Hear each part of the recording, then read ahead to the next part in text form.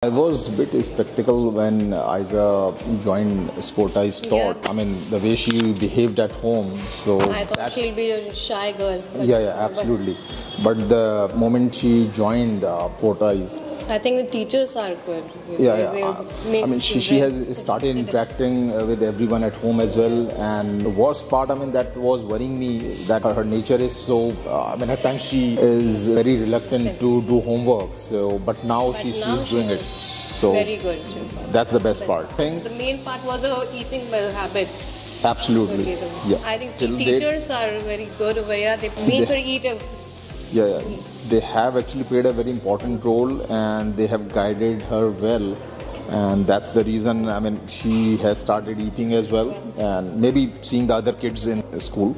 And they also have a lunch facility or something, a snacks facility Oh, which they provide. So maybe that helped. So, so it's pretty good. It's going good. So let's hope Oh. she develops in other aspects as well.